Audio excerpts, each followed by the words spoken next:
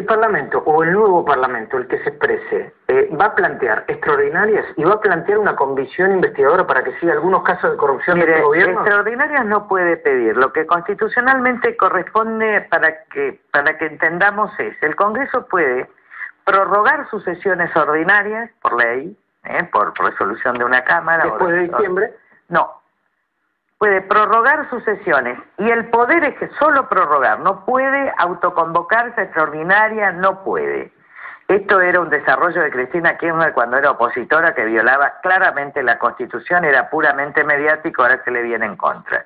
Ahora, el Poder Ejecutivo puede convocar a sesiones extraordinarias o prorrogar las sesiones. Es decir, prorrogarlo pueden hacer ambos. Lo que estamos trabajando con la oposición es pedir que si el ingreso ciudadano es tan importante, que si la reforma, si todas las temas, se decida la prórroga, esto tiene que ser antes del 30 de noviembre, porque el 30 de noviembre terminan las sesiones ordinarias y si la prórroga no está aprobada el 30 de noviembre, solo quedan las extraordinarias. Eh, Lita, desde que empezamos esta charla hablamos y varias veces de pobreza. ¿Mm? Vos citaste varias veces 2001. Y nosotros queremos mostrarte a vos y, a todos los televidentes un informe que tiene una comparación con algo que salimos a hacer en 2002 cuando la pobreza se hacía sentir y la gente, mucha gente, revisaba entre la basura eh, para comer y porque no podía llegar a fin de mes.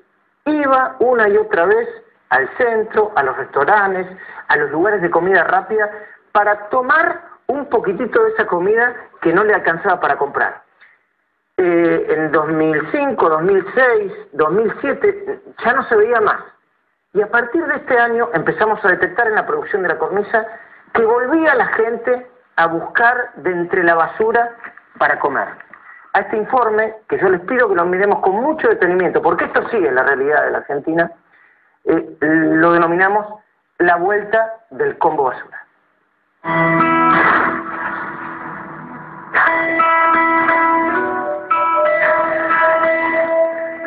¿Te está llevando papa frita para tu casa?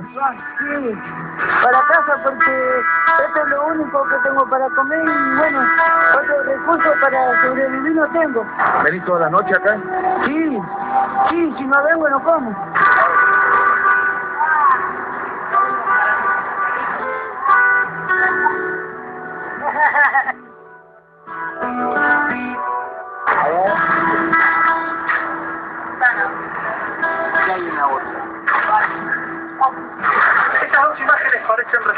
En un mismo momento. Sin embargo, hay siete años de diferencia entre ambas. Esta noche en la cornisa, el regreso del combo basura.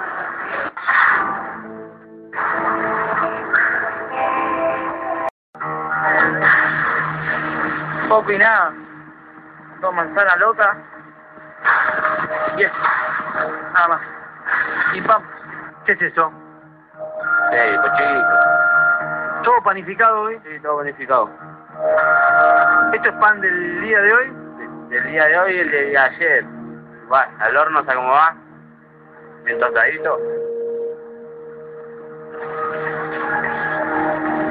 ¿Cómo, cómo identificas ahí si hay o no comida? Tenés que meter las manos. De la mano. Meter las manos. ¿No es peligroso pensando en que puede haber algún vidrio, algún elemento cortante? ¿No usas guantes, nada? No, no. Igual siempre está uno con el riesgo de agarrar así, mirando despacio.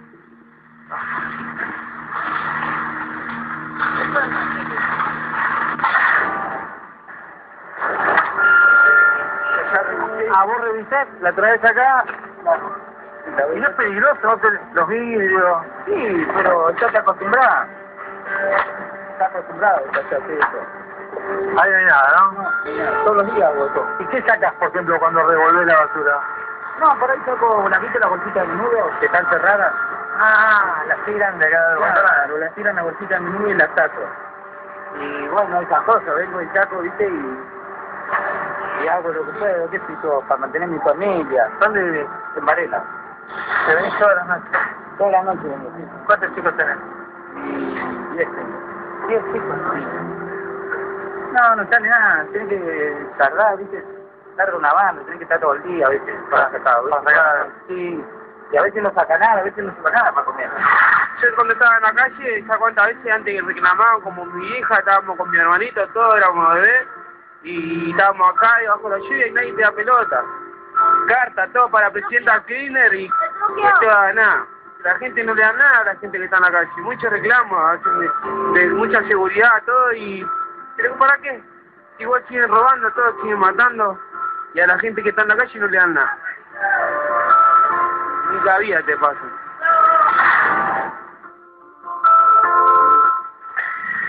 Bueno, gente que se organiza, ¿no? Y, y mete la mano en la basura para comer. Yo creo que esto nos tiene que mover a... Todos los índices dan que esto empezó ya en el 2007 y que está muy grave desde hace tres meses, como dijeron ahí, pero muy grave. Eh, ya la gente compra menos remedios, va menos a los médicos y a los hospitales porque no pueden comprar los remedios, compran un 37% menos de comida o bajan la calidad. Así que la situación está, por eso digo, estamos no todavía en los niveles del 2001 o 2002, pero estamos cerca. Ahora, esto nos tiene que mover a la esperanza. Parece increíble, pero es así. Eh, esperar es luchar por lo que todavía no se ve. No espera el que ya ve. Y esto nos tiene que dar esperanza a todos los argentinos. Y esa esperanza no es esperar, esa esperanza es lucha y el, más enorme convencimiento colectivo que de acá vamos a salir, que vamos a salir bien, que nuestra primera prioridad es esa niñez y esa familia, pero si nosotros todos nos convencemos que vamos a salir, tenemos que salir. Yo creo que esto a uno lo llena de responsabilidad, pero a mí no me llena de impotencia, sino, mira, esta escena yo la vi en el Chaco cuando presenté el ingreso ciudadano a la niñez hace muchísimos años, 14 años. A veces digo, Dios, ¿por qué no nos ayuda a que sea más rápido esto? Eh, pero bueno, de ahí uno saca la fuerza, por eso uno no se corre y, y todo el mundo en vez de ponerse muy triste, tiene que ponerse con una decisión irrevocable todos los argentinos y argentinas que, que nos están escuchando de que esto vamos a salir por ellos, por nosotros, por nuestra dignidad. Tengo que un breve corte y, y enseguida volvemos. Bueno, vos planteabas después de que vimos este informe tan conmovedor la, la idea de, de, de pelear por la esperanza, pero para tener esperanza hay que, hay que gobernar. No, hay que luchar en este momento. Yo creo que la nueva composición del Parlamento hay que avanzar. Que uno que está luchando hace tanto tiempo. Después la sociedad determinará, miren a quién vota y a quién no vota. Y en todo caso, a veces hasta lo determina un programa cómico de televisión. Lo que yo pido es que porfa que, que, que tengan confianza en nuestra lucha. Ni siquiera en una candidatura, yo ya le digo. La verdad que a esta altura ¿Vos ya el me Parlamento puede corregir las cosas que puede hacer mal este gobierno en los últimos dos años? Eh, lo que estoy diciendo es que vayamos día a día. Y no voy a decir más.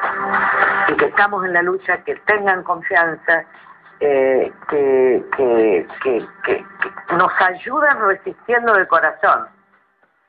Así nos ayuda la sociedad. Yo le pido respaldo y confianza resistiendo para esta lucha. Después, miren, como pueblo ustedes elijan quién los va a gobernar y, y todas esas cosas, pero permítanos después de tantos años de lucha que le pidamos apoyo en este momento, porque los que son candidatos no luchan, sacan fotos. Ahora, necesitamos respaldo para esta lucha. Después el pueblo que decida lo que quiera, pero ahora necesitamos mucho respaldo, por lo menos para paliar lo peor de lo que estamos viendo. ¿Una consulta popular para determinados temas sería apropiada? todo va a ir bien. Y si es necesario, eh, en su momento va a haber una consulta popular. Pero hoy necesitamos un pueblo unido con esperanza. Porque cuando el pueblo se abate, los que tenemos que luchar no tenemos fuerza. Y no tenemos fuerza porque no hay respaldo. Por eso digo, esa pobreza que vemos nos tiene que mover a la lucha y a la esperanza. No nos tiene que mover a la resignación y a la impotencia. Gracias por venir,